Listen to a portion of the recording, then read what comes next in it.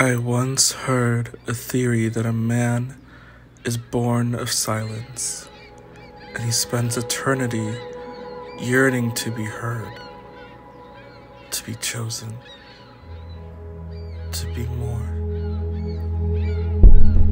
When kindness does not grant him applause, he chooses violence, fear, indifference.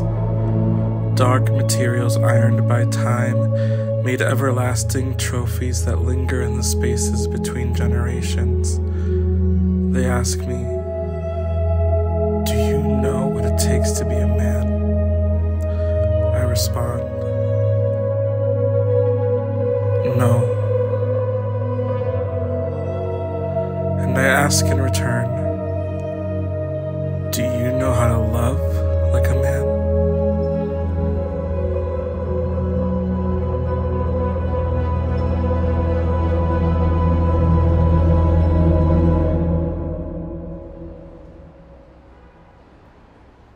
I am back home, inside of letters that make missing you feel like a hollow free for all shooter game.